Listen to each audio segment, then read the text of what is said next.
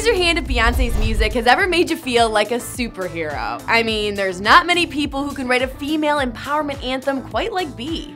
Who the fuck do you think I am? Pretty darn great that Marvel's new comic series, America, is paying tribute to the Queen herself by getting in formation with the new cover art inspired by the iconic video.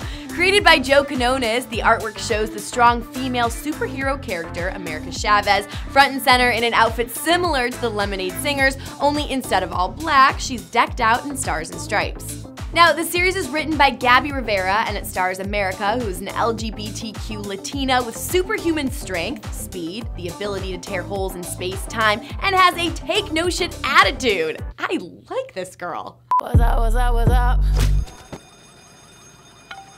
As one of a small but growing number of queer superheroes of color in comics overall, America has quickly become iconic among her loving fans, all of whom crave better representation in the medium. On the cover, she is also joined by Captain Marvel and Monica Rambeau, who I must say are badass girls alike, and also her teammates on the Ultimates.